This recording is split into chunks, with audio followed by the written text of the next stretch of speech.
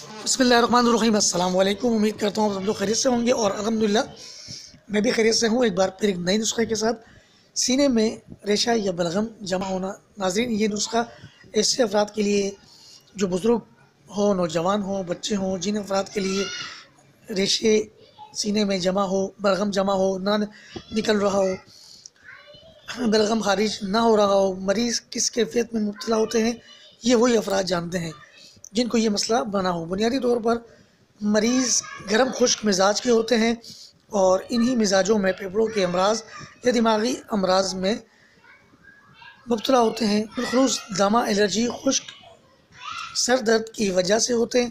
ہونے والی دماغی کمزوری، سانس لینے میں تکلیف، پھیپھڑوں کا صحیح کام نہ کرنا، نزلہ زکام کا ہونا، جسم سے ریشہ خارج نہ ہونا دماغ میں بھاری پن رہنا ایسے مریض شدید تکلیف سے گزرتے ہیں۔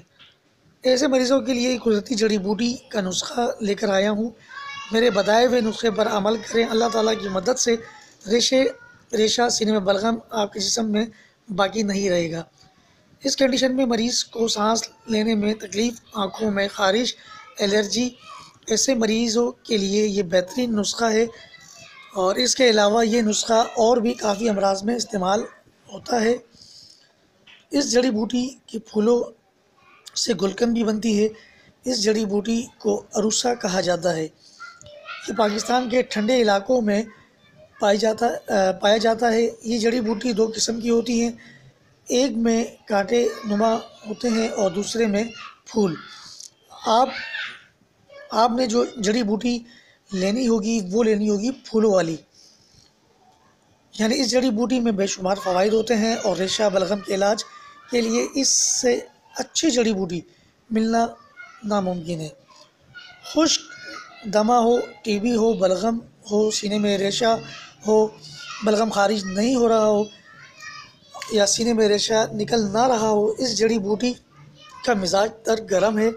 استعمال طریقہ اس کا بہت آسان نوٹ کر لیں۔ ایک چمچ جڑی بوٹی ایک گلاس پانی میں ابال لیں اور ساتھ ہی تھوڑا سا شہد ایڈ کر لیں۔ ایک کپ مریض کو پلا دیں۔ صبح، شام یا آپ نے پلانا ہے۔ انشاءاللہ، ایک ہفتے کے استعمال سے مریض کے سینے سے ریشہ بلغم بالکل صاف کر دے گا۔ ٹی بی کے مریضوں کے لیے یہ جڑی بوٹی انتہائی فائدہ مند ہے اور کھانسی کے لیے یہ بہت اعلیٰ جڑی بوٹی ہے۔ یہ آپ کے سینے میں چپکے ہوئے بلغم کو باہر نکال دیتی ہے اور اس بہترین جڑی بوٹی سے دوسری جڑی بوٹی نہیں ہے۔ امید کرتا ہوں میری چھوٹی سی میں آپ کو کاوش اچھی لگی ہوگی۔ اچھی لگی ہو تو سبسکرائب، لائک، شیئر، کمنٹس کریں۔ ڈاکٹر اجاز ادھر کو اجازت دیں۔ اللہ حافظ۔